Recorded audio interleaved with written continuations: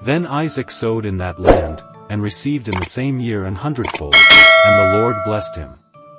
When God created man, he said, Be fruitful, and multiply. Gen 128. Part of his will for our lives is increase. His word says the path of the righteous shines more and more, Proverbs 4 verse 18. He also desires for us to prosper and be in good health, 3 John 1 verse 2. Our Father, God, desires to give us all things richly to enjoy, 1 Timothy 6 verse 17. We are to boldly believe and declare His promises for our financial increase and prosperity, in agreement with His word. Anchor Scriptures, Give, and it shall be given unto you, good measure, pressed down, and shaken together, and running over, shall men give into your bosom. For with the same measure that ye meet withal it shall be measured to you again. I wisdom dwell with prudence, and find out knowledge of witty inventions. I know thy works, behold, I have set before thee an open door, and no man can shut it, for thou hast a little strength, and hast kept my word, and hast not denied my name. The Lord shall increase you more and more, you and your children. Wealth and riches shall be in his house, and his righteousness endureth forever. And I will make of thee a great nation, and I will bless thee, and make thy name great, and thou shalt be a blessing, when men are cast down, then thou shalt say, There is lifting up, and he shall save the humble person. Prayer, Father, in the name of Jesus, I call forth your blessing into our lives. Your word says you will cause men to give into our bosom. Lord, we tithe, and are givers, so in the name of Jesus, men are giving unto our bosoms according to your word. The favor of God is mighty upon our lives. We are full of divine ideas, inspirations and witty inventions that bring us contracts, houses, cars, opportunities, and financial increase. We are constantly been paid huge sums of money for our work, creativity and even hobbies. Doors are opening unto us. Money comes to us easily and we are never without sufficient income and resources. We live stress-free, toil-free, debt-free lives. We enjoy God's abundance and provision every day of our lives. We are faith people and believe easily without struggles. We see results as we believe and act in faith. Ideas are flooding our hearts, and God is connecting us with the right sources to materialize our ideas. We are blessed to be a blessing. We instantly and constantly see results in our lives, and the unbelievers envy us, as they envied Isaac. We increase in the recession. When men are saying there is a casting down, we declare and experience a supernatural lifting up, in the name of Jesus. Declaration of Faith, Bring ye all the tithes into the storehouse, that there may be meat in mine house, and prove me now herewith. Saith the Lord of hosts, if I will not open you the windows of heaven, and pour you out a blessing, that there shall not be room enough to receive it. And I will rebuke the devourer for your sakes, and he shall not destroy the fruits of your ground, neither shall your vine cast her fruit before the time in the field, saith the Lord of hosts. In the name of Jesus, every devourer in my life is rebuked, because I bring all my tithes into God's storehouse. By the power of the Holy Spirit, I come against every plan of the devil in my life. I decree that my fruits will not be destroyed, and the good things in my life shall not be aborted, in Jesus' name. Additional scriptures, declare the blessings of God over your life daily. Spend time meditating on the Word of God, and listening for God-given ideas. Journal ideas or impressions that come to mind, write the vision, prayerfully consider which of these ideas you can start working on. Determine what steps you need to take. Set attainable goals and plan on how to bring the vision to pass. Work your plan, with God all things are possible. If my people, which are called by my name, shall humble themselves, and pray, and seek my face, and turn from their wicked ways, then will I hear from heaven, and will forgive their sin, and will heal their land. Our God is a merciful God. He is loving and forgiving. He assures us that when we confess our sins, He is faithful and just to forgive us, 1 John 1 verse 9. Do not be deceived into believing God will not forgive you. If you truly repent, He will forgive you.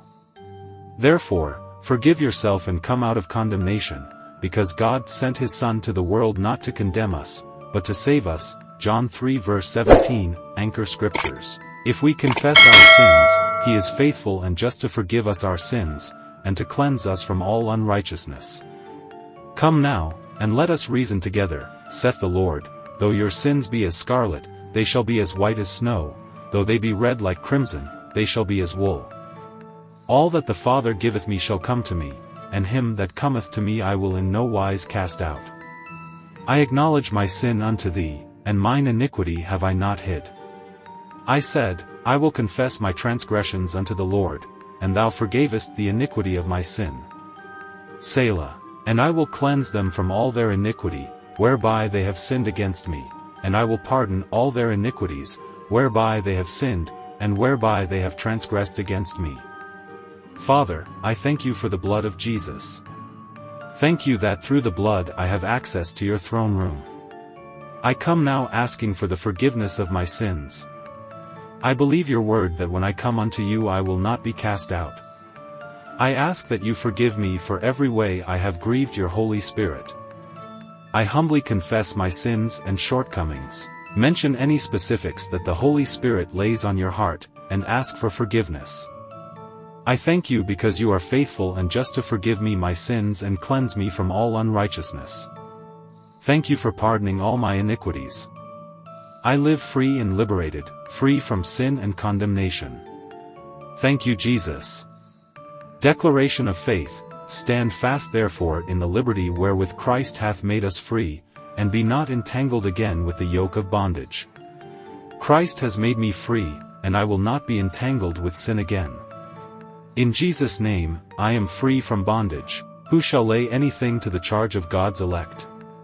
It is God that justifieth. I am God's elect, and I'm justified by God and the blood of his Son Jesus Christ. The Lord God took the man and put him in the Garden of Eden to work it and take care of it. Work was designed by our Heavenly Father, for us to engage with the earth He created for us, and for us to add value to it. It was never intended to be laborious and painful. Work was originally created to be enjoyed, and to be our service to our God. This is still what God intends, and we can live in His original plan and purpose. In addition, work was never intended to be our source, only God is our source. Our work is the assignment that God has given us at a point in time, and is a resource He is using to bless us, so we can bless others. It must not take God's place in our lives. Because God wants us to enjoy our work, He will give us gainful, enjoyable work if we believe Him for it. If you are currently unemployed, believe God for your daily bread, He never fails. I once was laid off and without a job for a couple of years, but never was there a day of lack, because I trusted God as my provider. He came through always, and met every need, and even tipped it off with some wants too. He is a good father. He will give you his peace as you await your next assignment. Don't be discouraged, he has the best in store for you, and is never late. Just fix your gaze on him, and keep your hope in him alive. He will always come through, only trust him. Anchor Scriptures. But he said to them, My Father never stops working, and so I work too. Let not your heart be troubled, ye believe in God, believe also in me. Let him that stole steal no more, but rather let him labor, working with his hands the thing which is good, that he may have to give to him that needeth. I know thy works, behold, I have set before thee an open door, and no man can shut it, for thou hast a little strength, and hast kept my word, and hast not denied my name. Behold, I will do a new thing, now it shall spring forth, shall ye not know it? I will even make a way in the wilderness, and rivers in the desert. A man's gift mocketh room for him, and bringeth him before great men. And I say unto you, Ask, and it shall be given you, seek, and ye shall find, knock, and it shall be opened unto you. Prayers, in the name of Jesus, Father I thank you for your word regarding employment. I thank you because it is your will for me to be gainfully employed, to work with my hands that which is good and honorable, so I can be a blessing to those in need. Father, this is my desire. I pray for open doors that no man can shut. I pray for a work that I will enjoy, work that will give me the opportunity to be a witness for you. I pray that you will make a way where there seemed to be no way, causing there to be job creations where there were no vacancies. In the name of Jesus, I pray that my skills and personality will be needed and sought after. I cover my resumes in the blood of Jesus, and pray that your favor will accompany every resume and application I send. I call forth my miracle job today, in the name of Jesus. My gifts, talents, personality, and disposition make room for me this day, in Jesus' name. I thank you, because I have asked according to your word, and therefore receive my petitions. As I seek a new assignment, I find one speedily to the glory of your name. As I knock on company doors, through my applications, interviews and other means, doors of favor and great job opportunities shall be opened unto me. Thank you faithful God, that when I ask anything in your name you will do it. I ask for a new job, give specifics on what kind of job, distance, hours, pay etc., and I thank you because I believe I receive my miracle job, in Jesus' name. Additional Scriptures Action Tips Spend this time developing a closer walk with God. Keep a schedule for meeting with Him daily. Volunteer your service, if you can. Check online and newspapers for training and other resources available to the unemployed. Seek and you shall find. Keep prayerfully looking and sending your resumes in. What can you do while you're waiting for your next assignment? Can you teach a foreign language? Can you fix computers? Can you write? Can you start a business? List your skills and let people know you are available to offer these services at a token, you'll be amazed at what doors will be open to you. Only chose something that will not drain money from you, beware of scams, and pray over everything you do. Be led by the Holy Spirit. A man's gift mocketh room for him, and bringeth him before great men. Every one of us is blessed with a special talent or gift, and the giver expects us to use these for his glory. Matthew 25 verses 14 to 30. However, we often don't recognize these talents as our gifts and would sometimes overlook them, craving someone else's gifts and talents. Some do know and embrace their talents, but then are challenged with how to fully utilize these gifts to the glory of God and not be distracted by the other demands of life.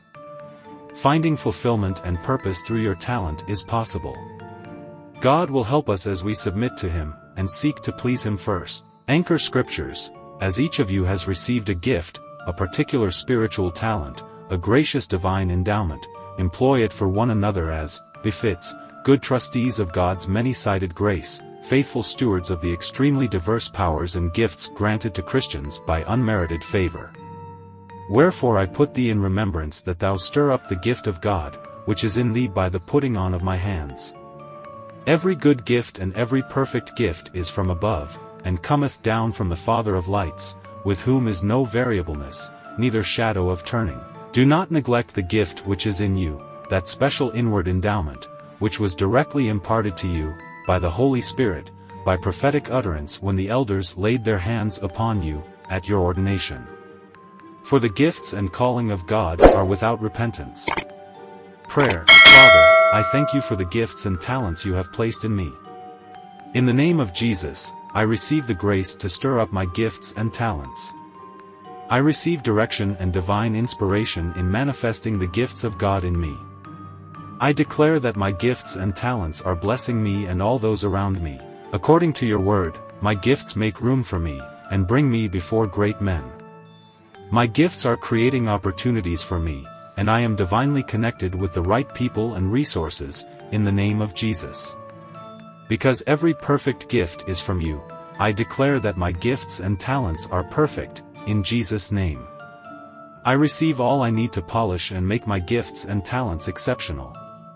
I thank you because you are providing the training, mentorship, connections, and whatever else I need for my gifts and talents to be excellent, and in demand. I thank you that my gifts from God are permanent, so I declare that any gift or talent I have overlooked, or made dormant, begins to be relevant and useful in my life. Doors are opening unto me to use my talents to bless mankind, in the name of Jesus. I amaze the world, as my talents are being unleashed, in the name of Jesus.